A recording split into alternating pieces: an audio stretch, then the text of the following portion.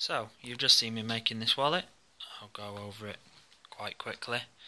Uh, this is the same design as Alec Steele's wallet that he did in his video that I will link below. It was his first ever leather working project. Um, and this is the, the design that he had.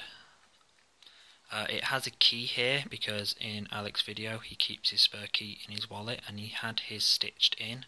I've attached mine with a Chicago screw. It can go here or it can go inside the pocket between the leather. Um, it's a flathead Chicago screw that you can undo with pretty much anything, coins, anything like that. I actually tightened this one up using a metal ruler.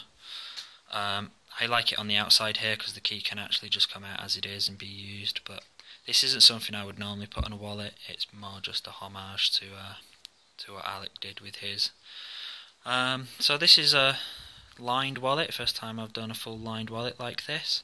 I did also line these pockets, which I probably wouldn't do again. Um, it doesn't really add anything, you can't see the inside.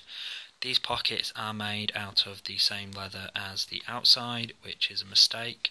I wasn't planning on doing that and I just had a lapse in concentration. It should be made out of the thinner leather and that way it would be more supple, I'd be able to get more things in there and work out better. Um, one thing I did learn with this wallet is with the stitching being visible on both sides there is a trick you can do where you cross over the threads inside the hole to get the nice slanted stitching on both sides. Um, I tried it before but not really put much thought into it and I figured I would try it again for this wallet and it came out pretty well.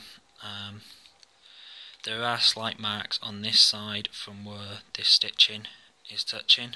Um, it isn't as bad in real life. Um, the camera picks it up a lot worse. But that is just a byproduct of the fact that I've left this natural and just oiled it lightly.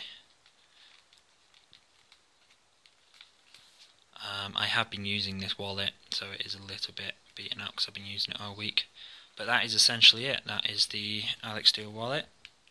I hope you enjoyed this video and enjoyed me uh, following me along building it.